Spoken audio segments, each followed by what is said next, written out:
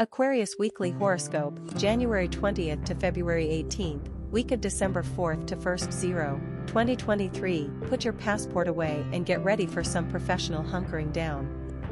Other people and their stories will be the furthest thing from your mind starting Monday, December 4th, when creative Venus bolts into single minded Scorpio and your 10th house of career magic until December 29th. This turns up the heat on your charm and ingenuity, so don't be surprised to see a line of would-be followers forming behind you, even if leading anyone is the last thing you're interested in. Scorpio's promise, when you train your laser focus on your own projects and ideas, your visionary genius will organically come gushing out. Colleagues, as well as key decision makers, will take notice of you. You can make the most of this high-profile transit by giving extra fuel to your work to set you apart from the so-called competition. Magnetic Venus has a gift for attracting perfect collaborators, so put the word out and be sure to screen potential associates. Get crystal clear on what you want to accomplish because you are in major manifesting mode. Keep the focus sharp and the blinders on. And when you're networking, be strategic and quickly filter out people just looking for a free ride on your coattails. You want someone who can inspire you, with stabilizing Saturn air-kissing Venus on Tuesday, and a balancing quarter moon in Virgo, you could materialize something of value immediately.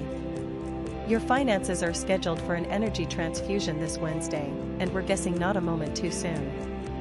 For that you can thank hazy Neptune, who's wrapping up its annual five-month retrograde in Pisces, and your second house of money and security. All revenue streams will lead to Rome, aka your fiscal stability, regardless of whether you increase your income, limit spending, or luck into an unexpected windfall. With the planet of confusion and indulgence correcting course, circumstances are poised to change, for the better.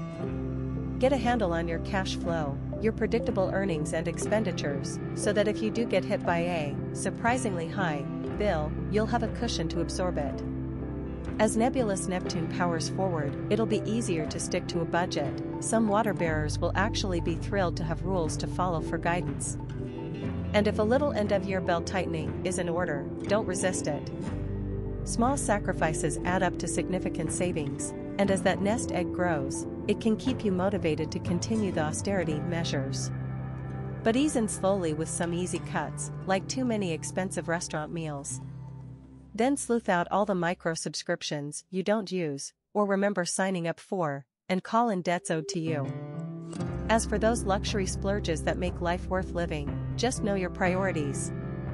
On Saturday, as amenable Venus spins into a stagnating opposition to excessive Jupiter, your idea of a healthy work-life balance may require some recalibrating. In theory, you've got it all worked out, how much time and energy you can dedicate to any one thing, but in real life, it's not so accomplished.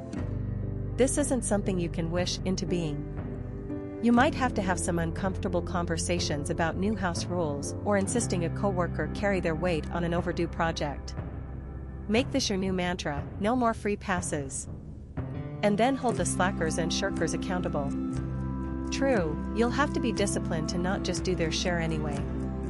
You want to say yes to everything, and everyone, but to get things back on an even keel, you need to invest your energy in activities and people with a significant, to you, ROI.